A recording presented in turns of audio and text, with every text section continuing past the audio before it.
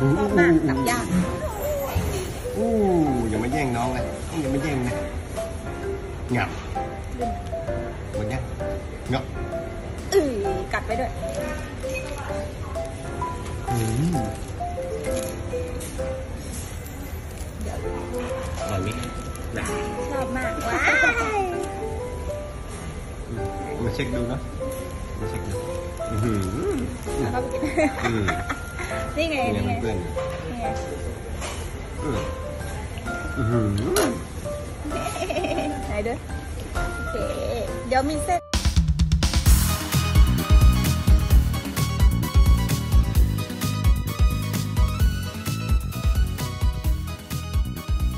วันนี้นะครับทุกคนเดี๋ยวเรามาเช็คกันต่อนะครับสำหรับวันนี้เซตลงมาพักตัวอยู่ที่ 1,565.94 จุดนะครับ ถามว่ามัน น่ากลัวมากไหม ก็อย่างที่ผมบอกนะครับ ลักษณะตรงนี้มันผ่านแนวต้านที่สำคัญนะครับ ก็คือ 1560 เพราะฉะนั้นการที่จะลงมาเทสที่เดิม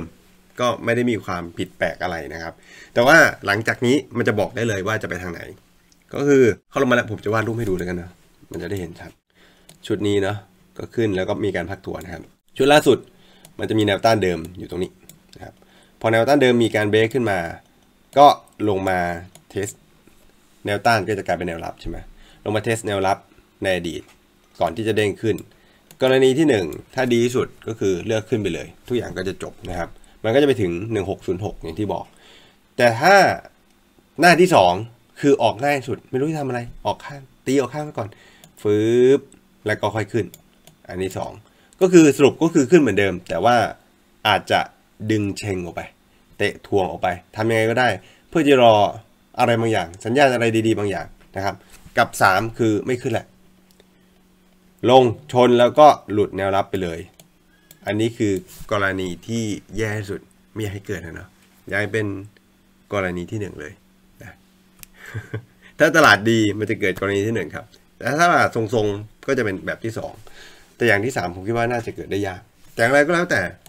เราก็ต้องมีการวางสต็อปลอสถูกไหม เพราะฉะนั้นตรงนี้ถ้าไปเล่นกันในโซนที่ต่ำกว่า 1555 นะครับ ก็จะถือว่าไม่ไปแล้วล่ะ ก็น่าจะมีการพักตัวอาจจะซึมอาจจะอะไรก็แล้วแต่นะครับ ก็ต้องมองกรณีที่มันแย่สุดไว้ด้วย สวัสดีเพื่อนๆทุกคนนะฮะยินดีต้อนรับทุกท่านเข้าสู่ช่อง Money Hero เรามาร่วมกันสร้างสังคมนักทุนคุณภาพไปพร้อมกันกับช่อง Money Hero ครับ ในคลิปนี้รายการติวเข้มก่อนเทรดประจำวันศุกร์ที่ 1 สิงหาคม ปี2566 มีหุ้นตัวไหนที่น่าสนใจ มีข่าวอะไรที่น่าสนใจเดี๋ยวเราไปดูพร้อมกันนะครับ มาดูกันครับข่าวแรกโอ้อมตะ อมตะขาย 2,000 ไร่ขายชน 2,000 ไร่ ชูลูกเข้าโอ้โหเหรอ ลูกเข้าตลาดด้วยนะฮะ แต่ถ้าลูกเข้าตลาดเนี่ย มันจะหมดสตอรี่เล่นนะ อมตะนะ อ่ามาดูครับอมตะไปไกลเลยฮะ ทีนี้ ตรงนี้ต้องวิ่งตามอย่างเดียว แนวต้านคือ 30 บาทสต็อปลอสอยู่ที่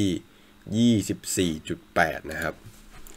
วาอัพน้ำไฟพุ่งดีมันขยายตัว เอ้า มาเฉยเหรอ อะ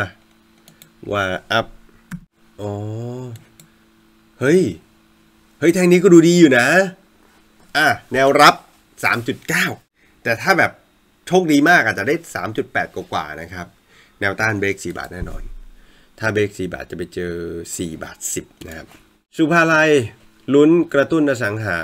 ลุยแนวราบ 10 โครงการ 10 โครงการเองเหรอ เอาแค่ในอุบลเนี่ยก็โอ้โหเยอะแยะแล้วนะของสุภาลัยนะ เขาไปลุยต่างจังหวัดกันนะครับ เอสพาลัยโอ้โหผมว่ามาว่ะ กราฟก็มานะ ตรงนี้นะ เบรกแน่นอนนะ 22 บาทเบรกแน่นอนครับ แนวต้านถัดไปก็คือ 23เรามาตีฟิโบเล่นๆกันไหม ตีเล่นๆนะ เพื่ออยากจะรู้เป้าต้องเป็น projection นะฮะ จากจุดแล้วก็ดูฐานของการชูด100%เนี่ยคือ 22.5 ถ้า 161.8 จะอยู่ที่ 23.8 น่าสนใจฮะ เพราะฉะนั้นแนวต้านก็จะเป็น 23 จนถึง 23.8 นะครับนี่ควางทิ้งไปเลยนะฮะ อะ มาดูข่าวต่อครับ ชงรัฐนำรถคาร์บอน EA ชื่นชมรถขยะ EV EA ก็มานะ โซนแถวนี้ก็ไม่ได้น่าเกลียดนะฮะ เป็นลักษณะของการพักลง ถือว่าค่อนข้างสวยนะครับ ที่ทำแนวรับตรงนี้ก็ได้ครับ 63 หรือไม่ก็ 62 นะครับ แนวต้าน 70 บาท ซัตโก้ ปั้นโชว์รูม BYD ฮะ ปั้นโชว์รูม BYD เป้าขายเดือนละ 400 คัน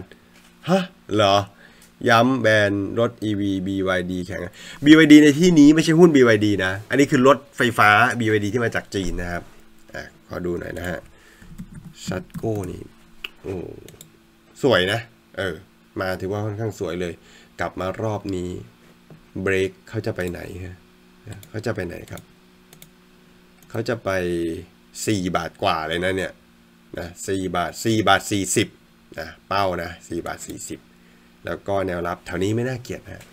3.98 CK Project พรึบรอรัดเร่ง มั่นรักษาอัตรากำไร 7-8%ไม่เยอะเท่าไหร่ แต่ก่อสร้างนะก็ประมาณนี้แหละ CK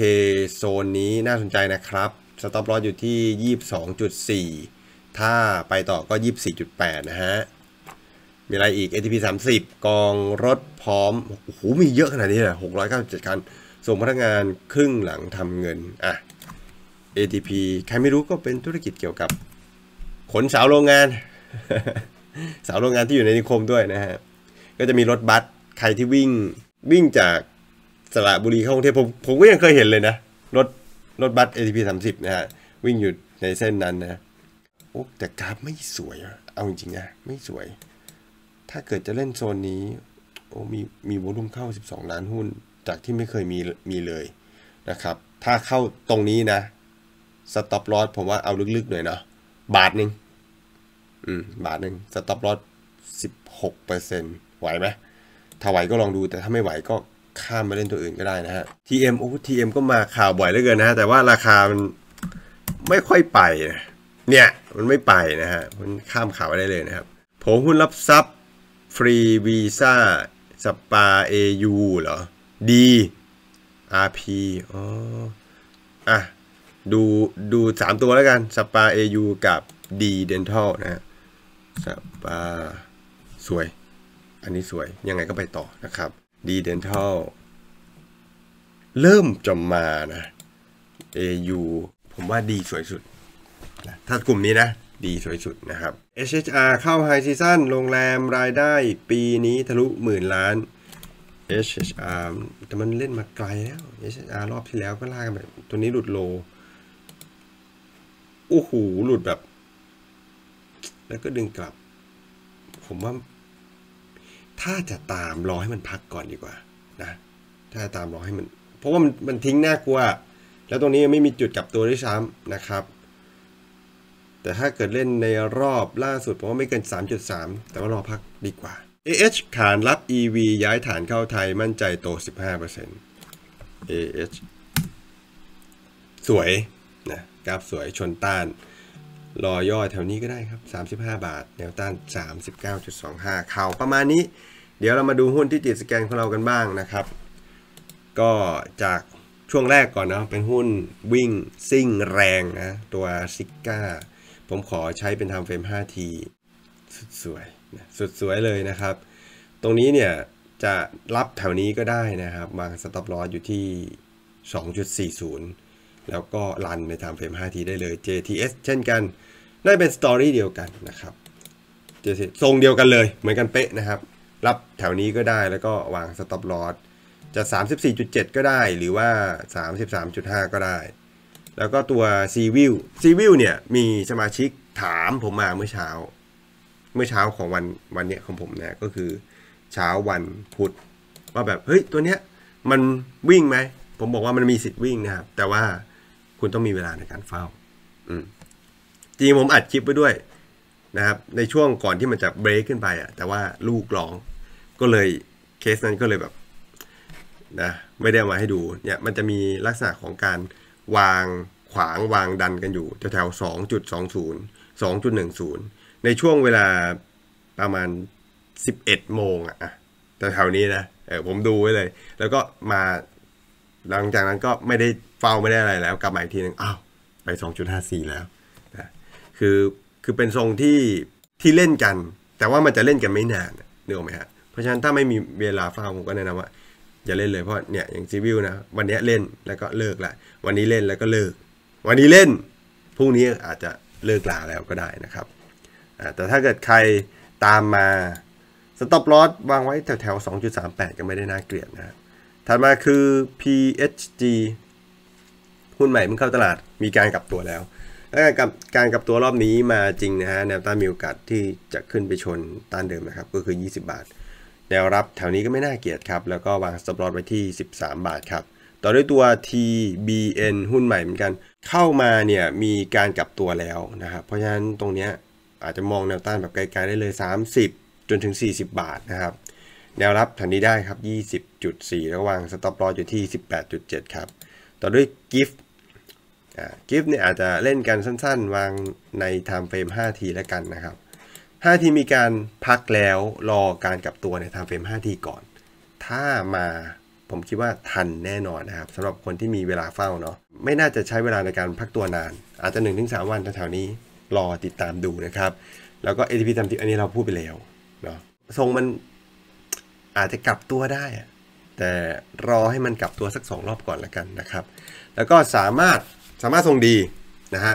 แนวต้านอยู่ที่ 6.6 เลย มีโอกาสที่จะขึ้นไปเทสนะครับ แต่ว่าน่าจะไม่ได้ไปไกลกว่านี้นะ น่าจะอยู่แถวๆนี้นะครับ แล้วก็แนวรับอยู่ที่ 5.6ตัวด้วยตัว ABM ABM มีคนถามมา สักพักหนึ่งอยู่นะฮะ มีการกลับตัวแล้ว มีกรอบสะสมเรียบร้อยแล้วนะครับ เตรียมที่จะขึ้นไปเทสแนวต้าน แนวต้านก็ไม่ไกลนะฮะ อยู่ที่ 1.6 เท่านั้นเองนะเอาเอาแค่กรอบสั้นๆเนี่ยก็ได้แล้วนะ แล้วก็ตัว C เคียวนะครับ SECURE นี่โอ้โหกลับตัวกันไม่รู้ตั้งกี่รอบนะครับ แล้วก็แนวต้านของเขาจะอยู่ที่ 19.3 ตรงนี้น่าสนใจครับรันแถวๆนี้ก็ได้ครับ 17.7 แล้วก็รันใน time frame 5T ครับ หลุด low เมื่อไหร่ก็ขายทิ้งได้เลย มันไม่หลุดเลยนะ เห็นไหม ใน 5T ไม่หลุด low เลยก็ไปต่อเรื่อยๆนะครับเพราะฉะนั้นตัวนี้ติดตามได้แล้วก็ SCGP นี่กลับตัวแล้วนะฮะเห็นถามกันมาตลอดเลย แต่ก่อนมันเป็นขาลงจริงๆ และปัจจุบันมีการกลับตัวแล้ว และถ้ายืนได้นะ 41 บาท ไม่หลุดนะ ไม่หลุดในที่นี้คือไม่หลุด 38 ก็จะขึ้นไปเทสไฮแล้ว 45 47 50 บาทนะครับ แล้วก็ STPI ชุดนี้ผมว่ามีโอกาสที่จะสิ้นสุดการพักแล้ว พอสิ้นสุดการพักก็ไปต่อแล้วครับทีนี้ 4.6 นะฮะ 4.8 5.2 ว่ากันไปนะครับ แล้วก็ SJWD ถามมาหลายคนหลายครั้ง มีโอกาส มีโอกาสที่จะกลับตัว ถ้าจะเล่นจริง ๆ นะครับ ให้สต็อปลอสแคบๆไว้ 2 แนว แนวแรกเอาแบบไม่เกรงใจเลยนะ 14.9 นะครับ แล้วก็แนวที่ 2 เผื่อเหลือเผื่อขาดนะครับ 13.9 แนวต้านแรก ถ้าไปจริงทะลุแน่นอนครับ 16.7 ครับ แล้วก็ KCG นะครับ ตัวนี้เตรียมที่จะไปต่อสามารถ Follow ใน Time Frame สั้นๆ เล่นกันสั้นๆ กรอบไม่เกิน 3 สัปดาห์อันนี้เล่นได้นะครับ แนวรับ 9.75 10 บาทคือวัทะลุครับ แล้วก็ตัวสุดท้ายคือ TOG นะครับตัวนี้มีการกลับตัวแล้วเนาะรอบใหม่น่าจะมานะครับ แล้วก็แนวต้านจะอยู่ที่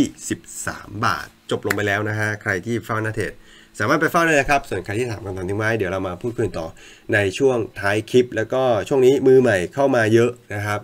สำหรับมือใหม่ที่อยากจะฝึกฝนตัวเองในการอ่านกราฟเทคนิคอลอยากจะดูแท่งเทียนว่าแท่งเทียนแท่งนี้มีความหมายว่าอะไร ชุดนี้มีความหมายยังไง การกับตัวต้นเทนการกับตัวกลางเทนการกับตัวปลายเทนเป็นยังไง เราจะหาจับจังหวะในการเข้าได้ยังไง ผมได้รวบรวมเนื้อหาทั้งหมดไว้ในอีบุ๊กเล่มขาว ที่มีชื่อว่าสอนอ่านกราฟหุ้นมือใหม่ ใครที่สนใจสามารถสั่งซื้อไปอ่านได้ที่ Line แอด Money Hero นะครับ แล้วก็เดี๋ยวเรามาต่อในช่วงท้ายนะฮะบอกอาจารย์พักผ่อนเยอะๆนะคะ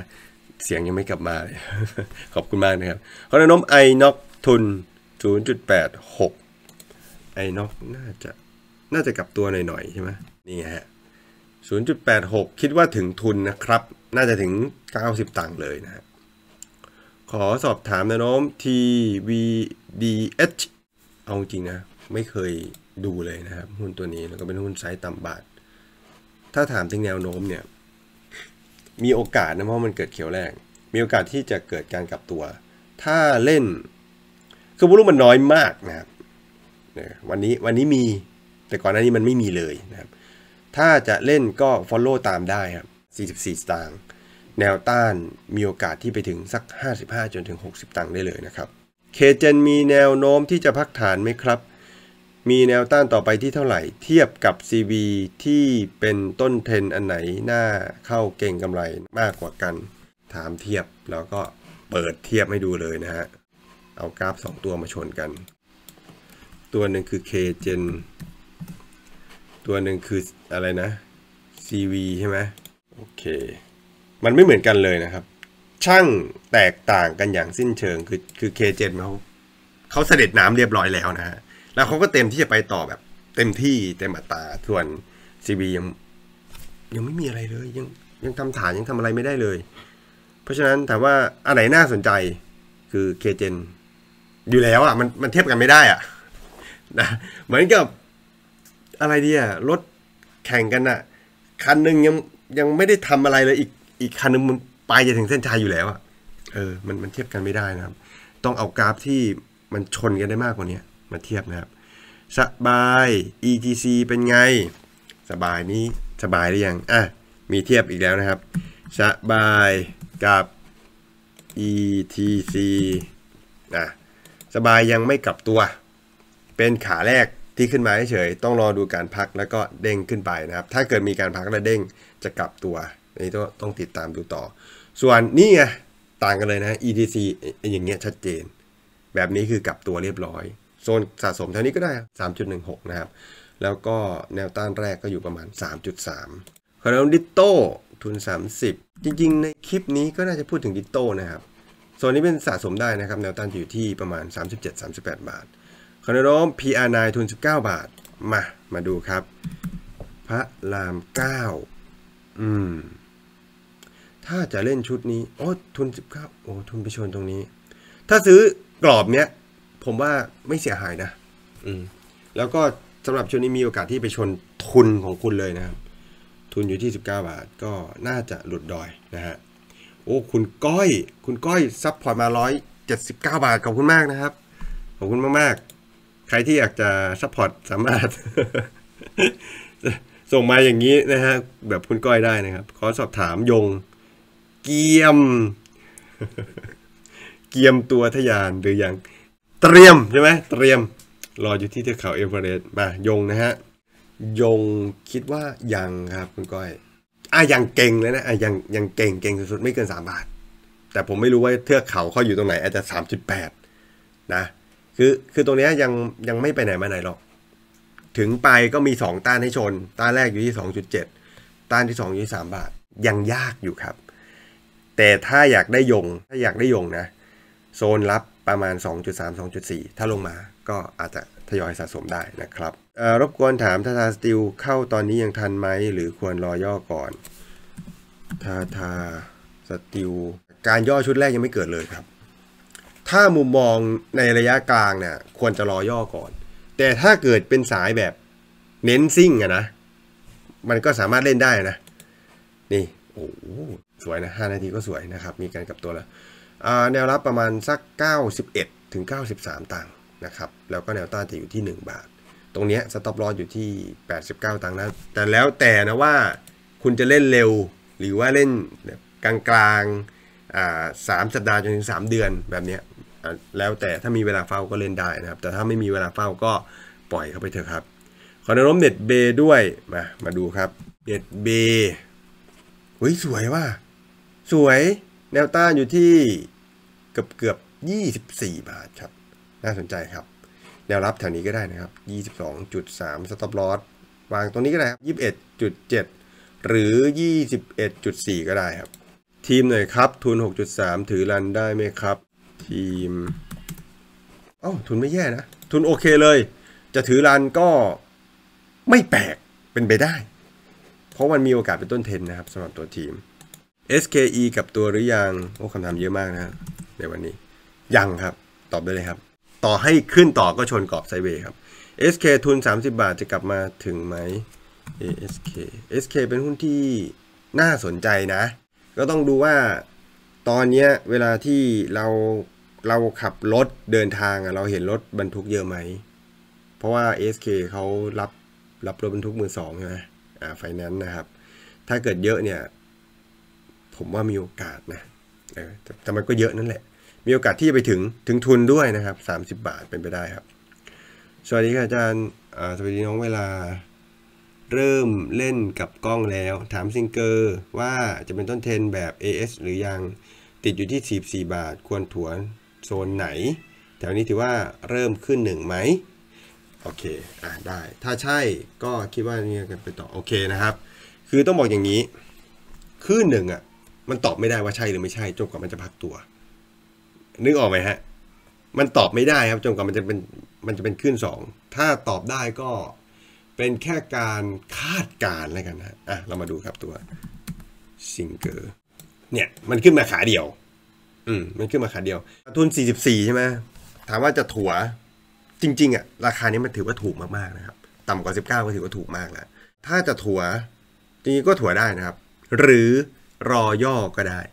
ก็จะได้ต้นทุนที่มันต่ำลงไปอีก มันก็จะฉุดถัวเฉลี่ยต้นทุนของเราลงมานะเพราะฉะนั้นถ้ากะถืออยู่แล้วอะครับ มันถัวได้อยู่แล้วไมมีปัญหานะเพราะว่าราคาปัจจุบันถือว่าต่างจากต้นทุนมากๆ ถ้าชอบก็ลองดูนะครับ แต่ว่าเวฟหนึ่งเนี่ยผมตอบไม่ได้นะ เพราะว่ามันยังไม่เกิดการพักตัวโซนิกทรงนี้กลับตัวหรือยังทรงนี้ทรงนี้ทรงเริ่มดีครับ แต่ยังไม่กลับตัวนะครับ อาจารย์เจมทีแนวโน้มถือกำไร 5 บาท พอได้ไหมทุน 47 JMT ทุน 40 อ๋อเพิ่งซื้อไปนะครับจะเอากำไร 5 บาทก็คือทุนน่าจะประมาณ 50 กว่ากว่าใช่ไหมผมคิดว่าเป็นไปได้ครับ แล้วก็น่าจะเร็วด้วย คิดว่าอาจจะกินไม่ไม่น่าจะเกิน 2 เดือนน่าจะถึงนะครับกำไร 5 บาท ขอ TH จริงๆ TH ในคลิปที่ถามมาก็น่าจะพูดอยู่นะฮะ TH ให้แนวต้าน 2 บาทนะครับ TMC โอ้อืมมันชนต้าน ถ้าทะลุเนี่ยเรื่องใหญ่เลยนะ ถ้าทะลุ 41 บาทนะฮะ ผมว่า 50 ได้เห็นนะสำหรับ MTC เมืองไทย Capital ใช่ไหมและบิดวันนี้จะไปต่อไหมและบิดมันเน้นแบบเล่นไวนะเนี่ย เน้นแบบเล่นไวเข้าไวออกไวนะครับมีร่วงลงมาดูใน time frame 5T เสียทรงยังยังไม่เสียเว้ยเออถ้าไม่มีของไปรอข้างล่างสัก 80 ตังค์80 กว่าๆนะครับ แต่ถ้ามีของก็รอได้อยู่ดีนะครับ คุณก็ต้องไปวาง stop loss วาง stop loss สักจะเจ็บไหมเนี่ย 76 ตังค์นะครับ ถ้ายังคุมนะคุมเทนได้อยู่ก็มีโอกาสที่จะไปถึง1บาทนะครับขายหมูซิงเกอร์ 1150อ่าวันต่อมาพุ่งเลยโอเคครับขณะว่า PSL นี่ PSL ในคลิปที่แล้วก็ได้พูดถึงอยู่นะฮะ PSL มีโอกาสเป็นต้นเทนได้นะครับ แนวต้านอยู่ที่ 10 บาท 50 จบลงไปแล้วนะครับสำหรับในคลิปนี้ขอบคุณทุกคนมากๆคำถามเยอะมากเลยวันนี้ขอบคุณมากนะครับ49 รายการอะไรก็มีคนมา แนะนำยาแนะนำสมุนไพรวิธีในการปฏิบัติตัว ขอบคุณมากนะเป็นกำลังใจให้จริงๆ แค่นี้ก็ ทำให้เราหายเร็วขึ้นแล้วล่ะน่นะครับ ก็สำหรับวันนี้ผมคงต้องขอตัวลาไปก่อน เดี๋ยวเจอกันใหม่นะ แล้วก็ก่อนก่อนจะจากกันไปนะทิ้งท้ายไว้ ช่องมันฮีโร่เนี่ย เรารับสมัครสมาชิกนะ สมาชิกใน YouTube เพื่อนๆสามารถสมัครที่ YouTube ได้เลยนะครับ กดคำว่าสมัครอยู่ที่ใต้คลิปตรงนี้นะครับสำหรับสมาชิกเนี่ยจะมี content พิเศษให้ทุกวันจันทร์ถึงอาทิตย์เลยนะครับวันจันทร์ถึงเสาร์จะเป็น content ที่ผมทำนะครับเกี่ยวกับการสอนหุ้นเทคนิคต่าง ก็จะเป็นเทคนิคแบบสั้นๆ กระชับตาม request ของสมาชิกเลยแบบอยากรู้เรื่องอะไร ผมก็จะทยอยจัดให้ ส่วนวันอาทิตย์จะเป็นรายการของอาจารย์ออฟก็คือการบ้านหุ้นนะครับ จะลงให้ทุกๆวันอาทิตย์จะมีการอัปเดตว่าในสัปดาห์นี้ตัวไหนน่าสนใจ สัปดาห์ที่ผ่านมาแผนของสัปดาห์ที่แล้ว เป็นยังไงบ้าง จะวางยังไงต่อ นี่แหละครับ คือ สิทธิพิเศษของสมาชิกของเรา ใครที่สนใจสามารถสอบถามเพิ่มเติมได้ที่ Line แอดมันนี่โรนะครับสำหรับวันนี้ผมคงต้องขอตัวลาไปก่อน เดี๋ยวเจอใหม่ครั้งหน้าขอบคุณและ สวัสดีครับ บ๊ายบาย